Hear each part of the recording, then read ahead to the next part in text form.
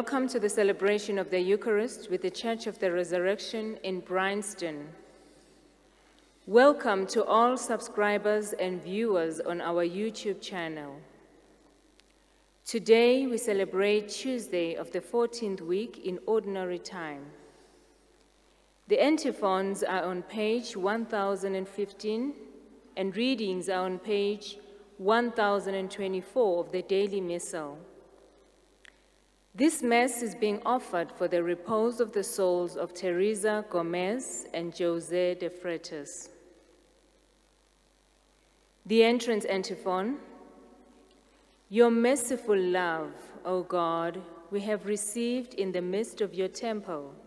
Your praise, O God, like your name, reaches the ends of the earth. Your right hand is filled with saving justice.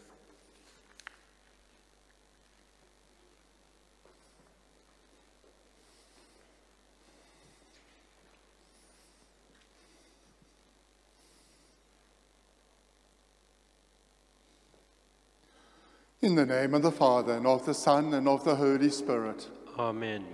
The grace of our Lord Jesus Christ, the love of God, and the communion of the Holy Spirit be with you all. And with your spirit. Welcome to our celebration of the Eucharist today. We acknowledge God's limitless compassion as we confess our sins.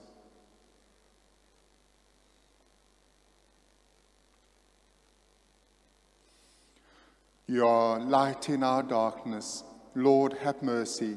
Lord, have mercy. Your strength in our weakness, Christ, have mercy. Christ, have mercy. Your forgiveness in our sinfulness, Lord, have mercy. Lord, have mercy. And may Almighty God have mercy on us, forgive us our sins, and bring us to everlasting life. Amen. Let us pray.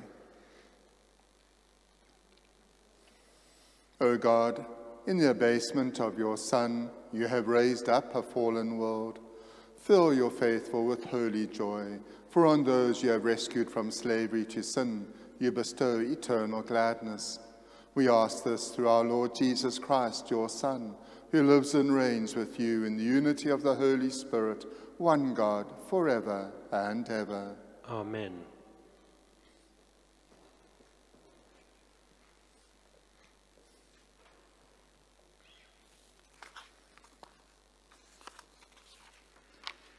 A reading from the book of Genesis. In those days, Jacob arose at night and took his two wives, his two maids, and his eleven children, and crossed the ford of the Jabbok. He took them and sent them across the stream, and likewise everything that he had. And Jacob was left alone and the man wrestled with him until the breaking of the day. When the man saw that he did not prevail against Jacob, he touched the hollow of his thigh. And Jacob's thigh was put out of joint, and he wrestled with him. Then he said, Let me go, for the day is breaking. But Jacob said, I will not let you go unless you bless me. And he said to him, What is your name? And he said, Jacob. Then he said, Your name shall no, long, no more be called Jacob, but Israel, for you have striven with God and with men, and have prevailed. Then Jacob asked him, Tell me, I pray, your name. But he said, Why is it that you ask my name? And there he blessed him. So Jacob called the name of the place Peniel, saying, For I have seen God face to face, and yet my life is preserved. The sun rose upon him, and he passed Penuel, limping because of his thigh. Therefore, to this day, the Israelites do not eat the sinew of the hip, which is upon the hollow of the thigh, because he touched the hollow of Jacob's thigh on the sinew of the hip. The word of the Lord. Thanks be to God. Let us now pray the responsorial psalm. In justice I shall behold your face. O Lord, hear a cause that is just. Pay heed to my cry. Turn your ear to my prayer. No deceit is on my lips. From you may my justice come forth. Your eyes discern what is upright. Search my heart and visit me by night. Test me by fire, and you will find no wrong in me. To you I call, for you will surely heed me, O God. Turn your ear to me, hear my words. Display your merciful love. By your right hand you deliver from their foes those who put their trust in you. Guard me as the apple of your eye. Hide me in the shadow of your wings. As for me, in justice I shall behold your face. When I awake, I shall be filled with the vision of your presence. In justice I shall behold your face. Please stand for the gospel. Alleluia, Alleluia. I am the good shepherd, says the Lord. I know my own, and my own know me. Alleluia.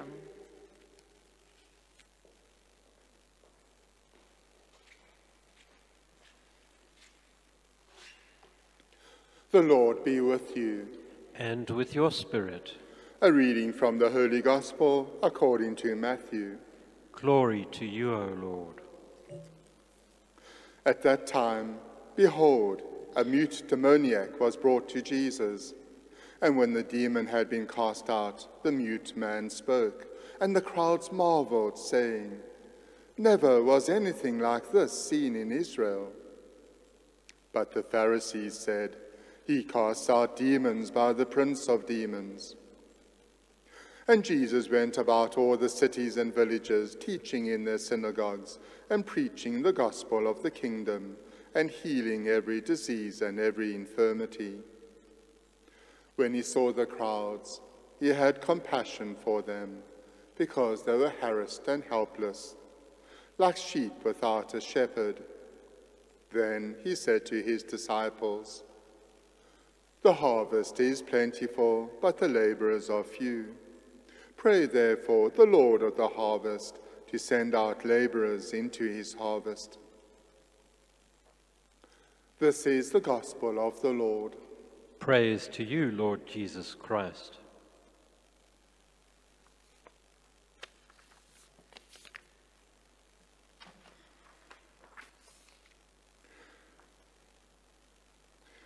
A life change is mentioned in the gospel and uh, we also have a, a great life change as well in the reading from Genesis.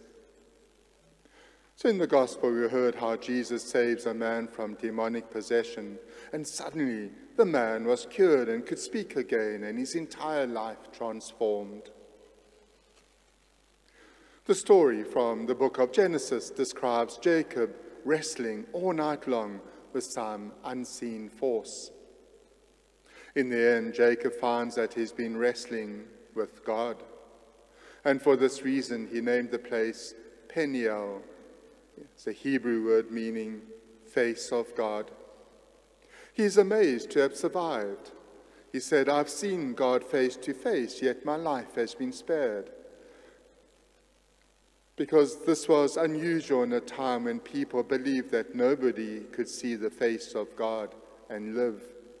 The reference here is to the events in Exodus 33, verse 20. Jacob had his dramatic nighttime struggle while returning from Haran to the promised land.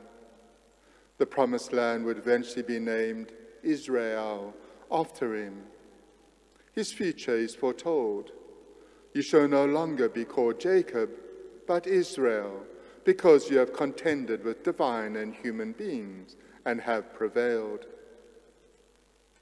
His future life was markedly different from his past and more clearly under God's guiding providence. For the rest of his life, Jacob carried a notable limp after his wrestling with the angel. Sometimes we too can no longer stand as tall as before. We may hear God's call to us anew, asking us to make a new and a different contribution to the life of others. And so in Jacob's story, we can find a new type of strength. In today's gospel, we see a contrast between how ordinary folk admired Jesus' miracles and how the Pharisees scorned them. The people said, Nothing like this has ever been seen in Israel. The Pharisees said, It is through the prince of devils that he casts out devils. The people saw God at work in what Jesus was doing. The Pharisees imagined Satan was in, working in him. It's hard to imagine a more contrasting response. The people, and not the Pharisees, were attuned to the presence and action of God in Jesus. And so this gospel invites us to ask ourselves to what extent do I sense the presence of God around me, especially in the good that other people are doing? We can be prone to objecting to things and missing the good that is actually there. We can be more attuned to noticing what's wrong than what's right. While never being blind to evil and sin, we need to be open to how the Lord is at work in our lives and in the lives of others. Jesus was sensitive to the good in others, even when they failed to see it for themselves. So we need to adopt that positive way of seeing things and not highlighting the negative all the time.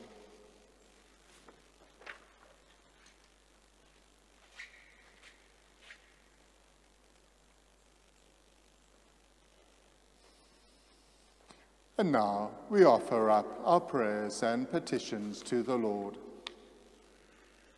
We pray for the shepherds of the church that they may come to the rescue of those who are troubled and abandoned, teaching them as Jesus did. Lord, hear us. Lord, graciously hear us. We pray for those who wrestle with God in earnest prayer and obedient action, that they may obtain grace and mercy for the oppressed and those who are longing for the blessing of peace.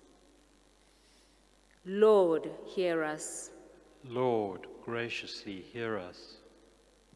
We pray for vocations that we may obtain from the Master of the harvest good and holy laborer, laborers together in the abundance of souls, thirsting for God's kingdom. Lord, hear us. Lord, graciously hear us.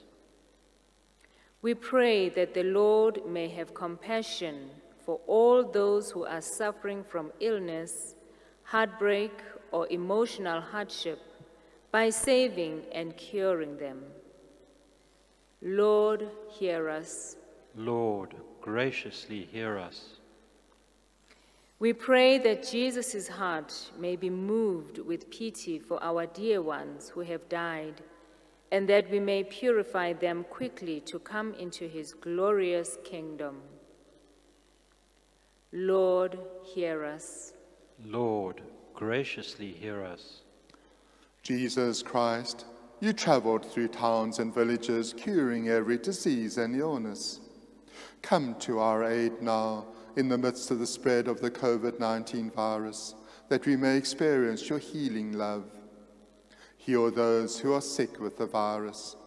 May they regain, regain their strength and health through quality medical care.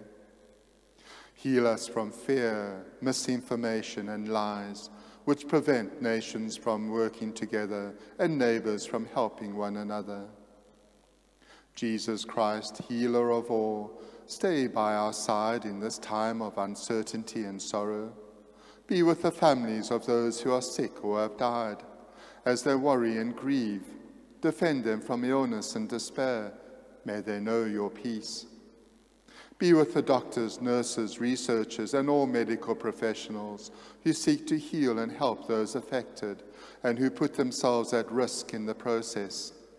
May they know, may they know your protection and peace. Be with the leaders of South Africa. Give them the wisdom to enable a swift rollout of the vaccines for all our people. Jesus Christ, stay with us as we endure and mourn, persist and prepare. In place of our, of our anxiety, give us your peace. Jesus Christ, heal us. Amen. Amen.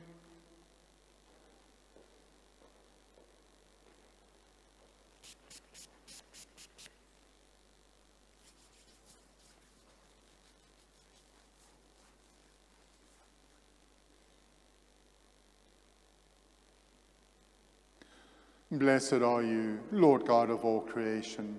Through your goodness we have received the bread we offer you, fruit of the earth and work of human hands. It will become for us the bread of life. Blessed be God forever.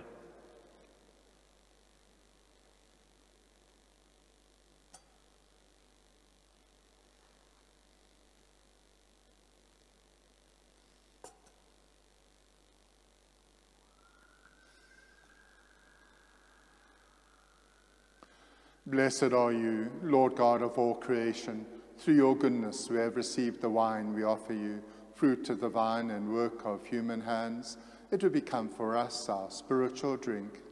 Blessed be God forever.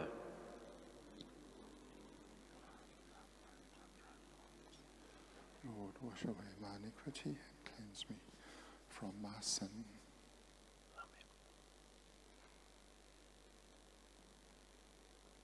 Pray, brothers and sisters, that my sacrifice and yours may be acceptable to God, the Almighty Father. May the Lord accept the sacrifice at your hands for the praise and glory of his name, for our good and the good of all his holy church. May this oblation dedicated to your name purify us, O Lord, and day by day bring our conduct closer to the life of heaven. We ask this through Christ our Lord. Amen. I'll use the common preface number five and the second Eucharistic prayer. The Lord be with you. And with your spirit.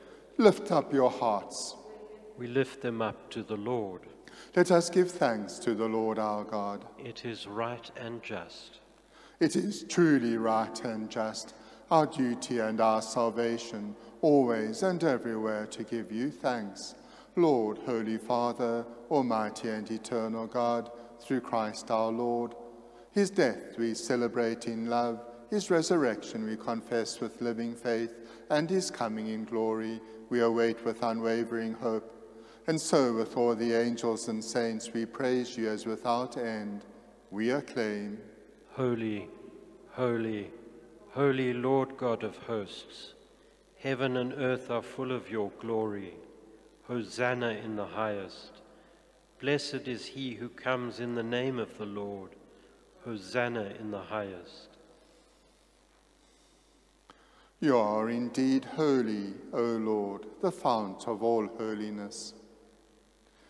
Make holy, therefore, these gifts, we pray, by sending down your Spirit upon them like the dewfall, so that they may become for us the body and blood of our Lord Jesus Christ. At the time he was betrayed and entered willingly into his passion, he took bread and giving thanks, broke it, gave it to his disciples, saying, Take this, all of you, and eat of it, for this is my body, which will be given up for you.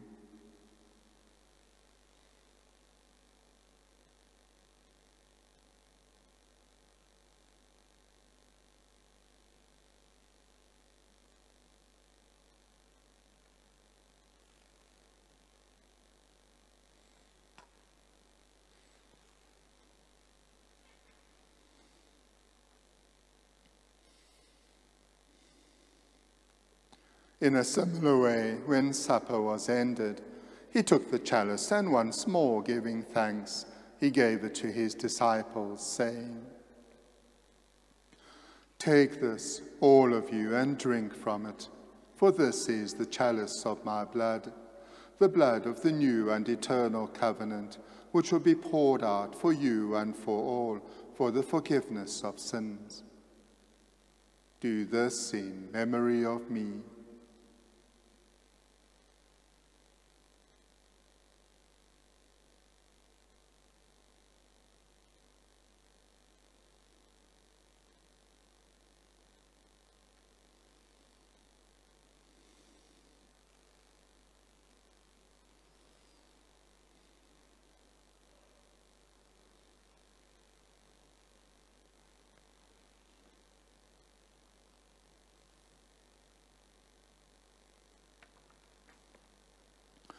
Let us proclaim the mystery of faith. We proclaim your death, O Lord, and profess your resurrection until you come again.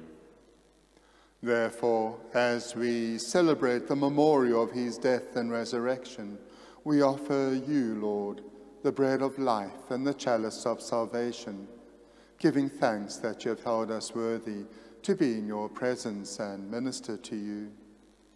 Humbly we pray that partaking of the body and blood of Christ, we may be gathered into one by the Holy Spirit. Remember, Lord, your church spread throughout the world and bring her to the fullness of charity, together with Francis our Pope, Buti our Bishop, all the clergy, and all your people. Remember also our brothers and sisters who have fallen asleep in the hope of the resurrection, and all who have died in your mercy. Welcome them into the light of your face. Have mercy on us all, we pray, that with the Blessed Virgin Mary, Mother of God, with the blessed apostles and all the saints who have pleased you throughout the ages, we may merit to be co-heirs to eternal life, and may praise and glorify you through your Son, Jesus Christ. Amen. Through him, with him, in him, O God, Almighty Father, in the unity of the Holy Spirit, all glory and honor is yours, forever and ever. Amen. At the Saviour's command and formed by divine teaching, we dare to say, Our Father, who art in heaven, hallowed be thy name. Thy kingdom come, thy will be done on earth as it is in heaven. Give us this day our daily bread, and forgive us our trespasses, as we forgive those who trespass against us. And lead us not into temptation, but deliver us from evil. Deliver us, Lord, we pray, from every evil. Graciously grant peace in our days, that by the help of your mercy we may be always free from sin and safe from all distress, as we await the blessed hope and the coming of our Saviour, Jesus Christ. For the kingdom, the power, and the glory are yours, now and forever. Lord Jesus Christ, who said to your apostles, Peace I leave you, my peace I give you. Look not on our sins, but on the faith of your church, and graciously grant her peace and unity in accordance with your will, who live and reign forever and ever. Amen. The peace of the Lord be with you always. And with your spirit. Let us pray for peace, for peace in our hearts.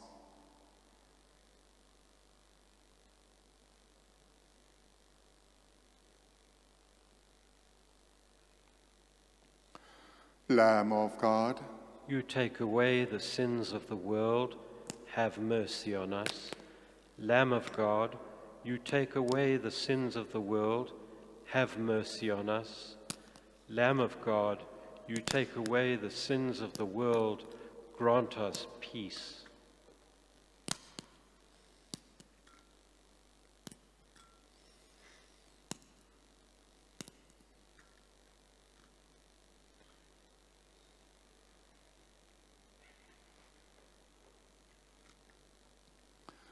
Behold the Lamb of God. Behold him who takes away the sins of the world. Blessed are those called to the supper of the Lamb. Lord, I am not worthy that you should enter under my roof, but only say the word, and my soul shall be healed.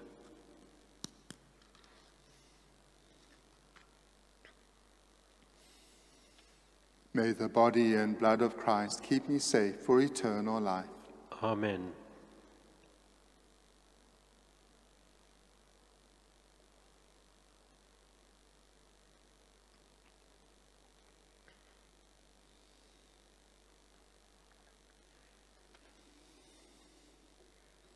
The communion antiphon.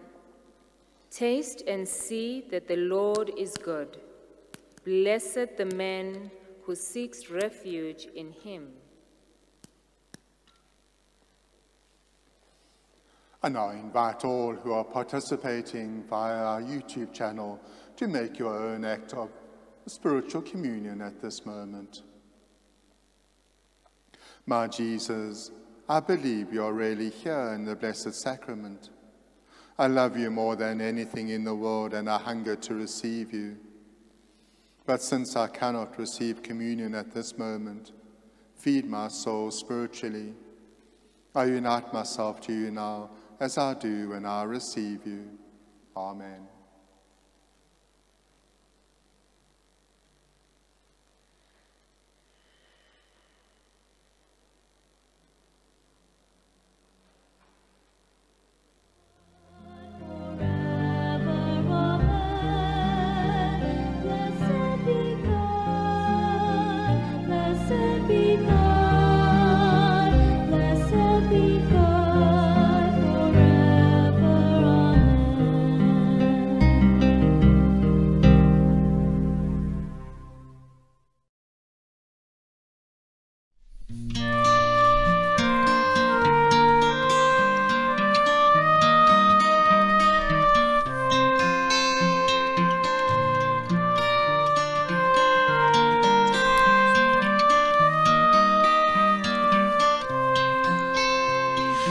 Offer you this bread.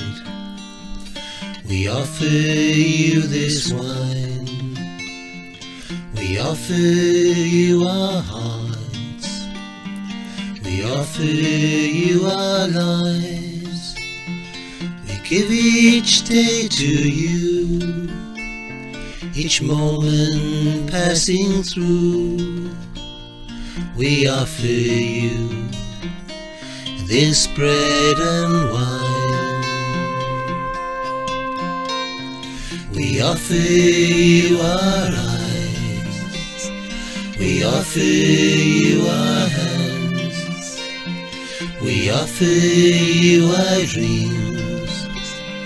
Your word is our command, the reason that we live is to know the love you give. We offer you this bread and wine. We offer you our joy. We offer you our fears. We offer you our pain.